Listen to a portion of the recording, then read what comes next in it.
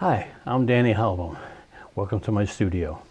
Today what I'd like to talk to you about is the maul stick. It's something that I use all the time. Um, I don't know, some people have used it. They've used it very much in the past.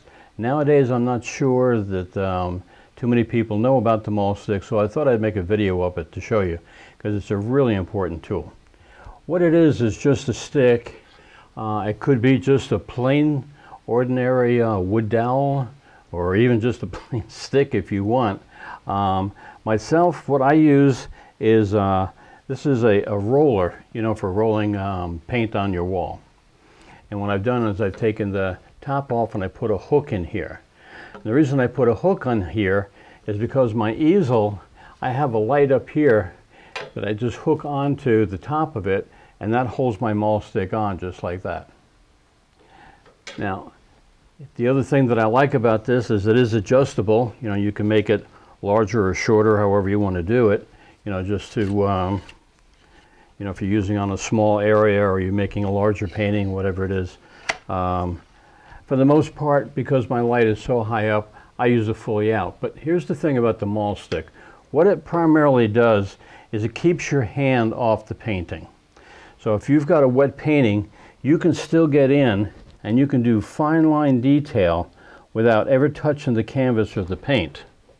And it also, it acts as, sometimes I've done ship paintings and you need to do a nice fine line for rigging or if you're doing any kind of line work, these work great because I can just take my paintbrush and just start at one point, hold my maul stick steady, and I can just go straight down and I just ride the stick and it makes a nice straight even line. So it's great for making lines, but usually I don't do too much line work. It's mostly stuff like this. And what that does is again, I can get in and do some really fine detail without my hand shaking and it keeps it off the canvas in case this is wet here. I don't have a fingerprint that I've got to touch up later on because I'm resting up against it while I'm doing that.